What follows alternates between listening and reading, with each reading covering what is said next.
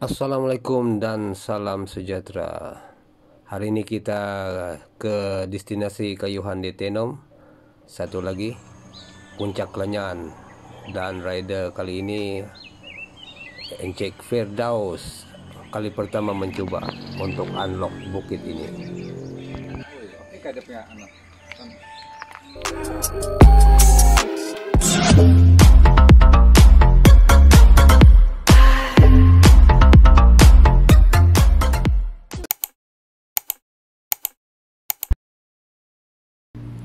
Setelah sekian lama berhajat ingin mencoba Bukit Kelanyan, akhirnya beliau mendapat peluang pada hari ini, dua hari bulan Januari 2021. Percobaan memanjat uh, Bukit Kelanyan menggunakan MTB Trings.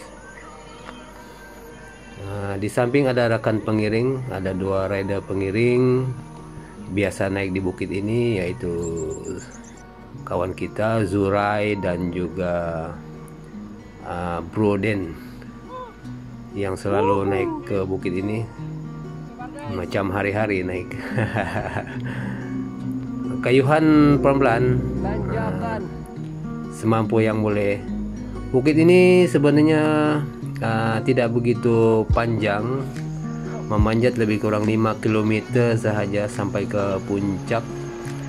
Nah kebetulan laluan ini diturap untuk kegunaan uh, message perkampungan message uh, melalap tenem jadi sesuailah uh, jalan ini digunakan untuk rakan-rakan rider berbasikan dan juga hike hiking bagi peminat-peminat hiking di sini. Uh, laluan cantik, pemandangan ya. kiri dan kanan indah. Uh, waktu pagi sejuk berkabus di sebelah bawah kelihatan.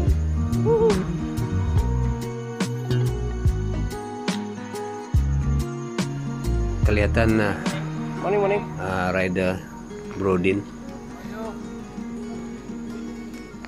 Uh, tadi di checkpoint pertengahan boleh berehat, minum-minum. Lepas tu kita sambung lagi ride ke puncak. Bagaimana? Lebih kurang ada 2 km setengah lagi sampai atas. Kepada rakan-rakan basikal yang ingin mencoba bolehlah datang ke sini uh, jalannya senang saja boleh parking kereta di rumah kebudayaan Murut dan memanjat ke puncak. Di sebelah atas ada juga kedai runcit disediakan. Uh, kedai runcit orang kampung bolehlah beli-beli minuman roti-roti apa yang perlu untuk mengisi perut sedikit-sedikit lah tidak banyak. Ini penjatan terakhir bukit memang mencabar di sebelah sini tapi tidak masalah lah bagi penunggang-penunggang yang biasa memanjat mana-mana bukit. Nah, kelihatan uh, Firdaus sedang menghabiskan kayuhan. Nah, ini pemandangan dari sebelah atas. Nah, selepas ini kita akan habiskan ke sebelah perkampungan Meses hmm, tapi bukitnya tidak begitu tinggi sudah senang untuk dipanjat. Kelihatan uh, Bro Zurai dan Bro Din terus uh, memanjat ke atas. Bagi semangat kepada Firdaus.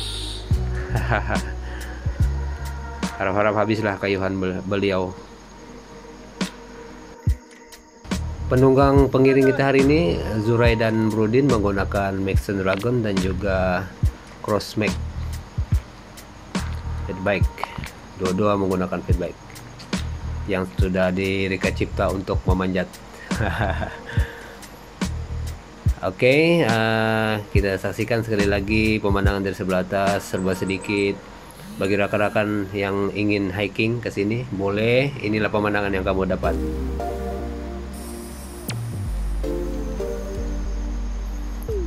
Ini adalah checkpoint uh, boleh berehat di sini nampak uh, Firdaus uh, nyambung lagi kayuhannya sehingga ke perkampungan message dan Itu. kami akan berehat di sebelah sana.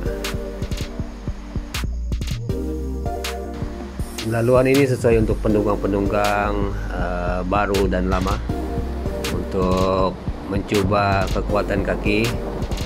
Eh, bukit tidak begitu curam, senang untuk dipanjat, tapi cukup menguji bagi penunggang-penunggang baru. Uh, Firdaus sudah di hadapan sana. Nah, di sini ada perkampungan, kadang runcit ada di sini dan boleh membeli minuman dan uh, ban. Nah, ini adalah perkampungan message. Buat masa ini belum ada penduduk yang tinggal, masih ditutup. Nah, mungkin akan diduduki oleh penduduk sekiranya hasil getah mereka mengeluarkan uh, uh, susu. Boleh dipotong boleh ditoreh. Nah ini pemandangan dari sebelah. Nah, di sebelah bawahnya adalah sungai Pegalan yang mengalir dari arah Keningau. Kawasan ini memang dikelilingi bukit Oke, ini perkampungan message itu. Kami berehat di sebelah sini. Alhamdulillah. Tania, Firdaus sampai ke sini pertama kali. Harap-harap tidak serik. Oke, selepas ini kami akan singgah di kedai runcit eh, membeli minuman dan selepas itu kami akan balik semula ke bawah. Ini adalah kayuhan turun. Harap-harap pada penunggang yang lalu di sini berhati-hati sebab ada eh, jalan raya yang sedikit rusak disebabkan aliran air. Kami sudah sampai di bawah.